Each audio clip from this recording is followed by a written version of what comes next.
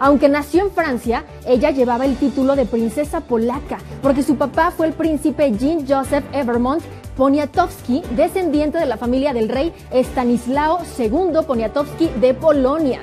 Lo que ocurrió es que la familia de Elena abandonó Polonia y se mudó a Francia por la Segunda Guerra Mundial.